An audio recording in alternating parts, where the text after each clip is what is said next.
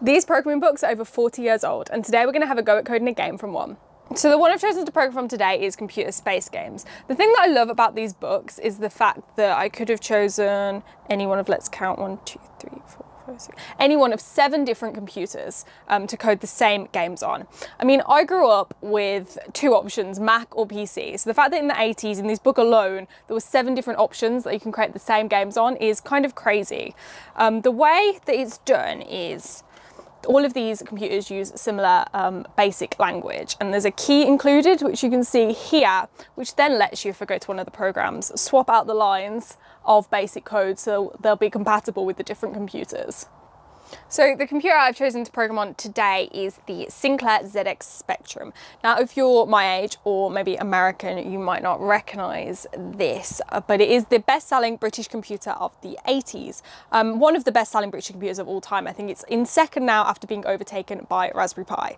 Um, but that is enough about the computer. Let's pick a game to program from this book. So we have computer space games here and if I open it up, another thing I love about these books is they're not just the programs and the simple games there is quite a bit of exposition told in the form of you can see at the front the little paragraphs short stories um, for each of them as well as really cool illustrations the colors in these books all of them are just really good, cool to look at. I like just flicking through and just reading the exposition um, because yeah, they're quite fun to read.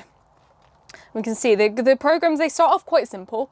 Um, so a lot of guess the number games. There's a few guess the number games at the beginning and then get a bit more advanced. And I think at the back of here, there is one graphical game that is quite long and has like different options for the different computers rather than just using the key.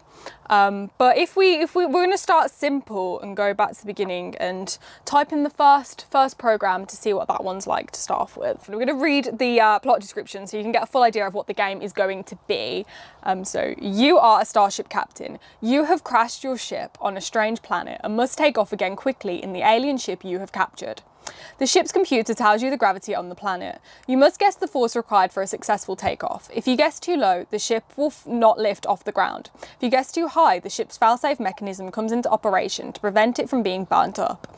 If you are still on the planet after 10 tries, the aliens will capture you. So I'm going to start typing this in. And the one thing about the Spectrum keyboard is it was designed um, so to, I think to try and make programming easier rather than actually needing to type in the, um, the, the commands yourself, they instead put them on the keys. So you just press the key and the command comes up.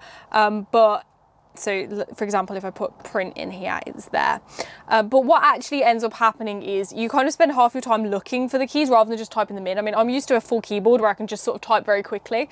Um, and instead of that, you do spend a lot of time searching for the different keys. I've kind of got used to it, so I know where they are, but especially when I'm first starting out with this, it does take a second to get used to it. And you end up doing quite a few like twister, I call it twister moves. So my pinky finger on there and pressing around to try and get the keys in the right place so you can select the ones that you want. So it is a slight battle sometimes to type on, but we get there in the end and it does get easier. Um, but you don't, you don't want to watch me type this entire program in because we've only done two lines so far. Um, so I'm going to cut and fast forward to when we have the whole program and we can actually play and test out the game. Right, so we got there in the end. I've typed in the entire program and hopefully it is all right. I mean, the, does, the computer does have a bit of a go at you if it thinks you've got an error in the line. I had a few different cases where it doesn't let you press enter. It has like a question mark that comes up um, if there's an error and I went back and fixed them. Um, and it has let me type the whole thing now. So hopefully if I press run, it should work and play the game. Um, so if we type run there, or press run more than type run, um, click enter, we have Starship Takeoff, Gravity 9 type in force. Um, so it seems to be some sort of guess number name. I think it's, from what I've um, typed in, it seems to be a higher or lower game. Um, so we guess a number and it tells you if you're too high and too low. So if I pick a number, let's start low and go with 10. Too low, yeah, I thought it'd be too low. So if we go up to 50, we'll see if I can actually beat it. We'll do 100. Too low again. Oh my gosh, this is a really high number. The higher than I thought they'd be at, and honestly. 200, too low again.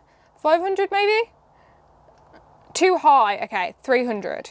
It's me guessing numbers. Too high again. So it's between 200 and 300. If I go 250, too low. So between 250 and 300, no, 250 and 300. 270, too low, 280, too low. Okay, I think I'm gonna die. I think, well, I think we get 10 goes. So I don't think we're doing very well. Let's do, no, too high, you failed, the aliens got you. That is a great end. Let me try again. Let's see if I can get one that isn't gonna kill me. We have gravity six, type in force. Let's try, let's go a bit higher because the, the number was really high for some reason. Go 50, too high, okay. So the number is gonna be a lot lower than whatever it was, 200 and something. Um, try 40, this isn't too low. Okay, so it's between 40 and 50. 45, too low. It's between 45 and 50, 46, 47, 48. Yay, we got it.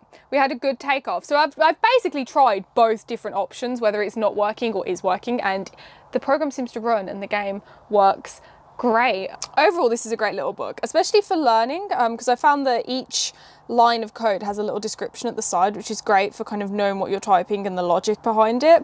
As well as that they even have these little puzzles at the bottom and ways to make the program harder um, if you want to sort of adapt it as well, um, which is pretty cool.